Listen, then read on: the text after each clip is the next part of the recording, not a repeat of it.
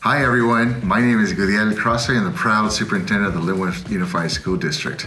As an organization, we bring a passion and commitment to support technology and innovation, and we are happy to submit this application for the League of Innovative Schools.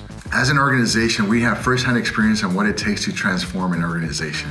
We took our graduation rates from the 70s up to the 90s.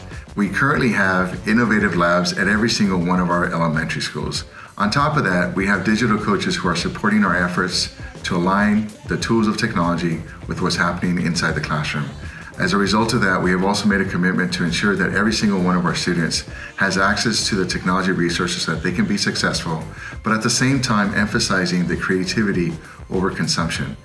Currently in Lynwood Unified, every one of our students now has access to a digital device, and on top of that, they have access to coding clubs at every one of our school sites.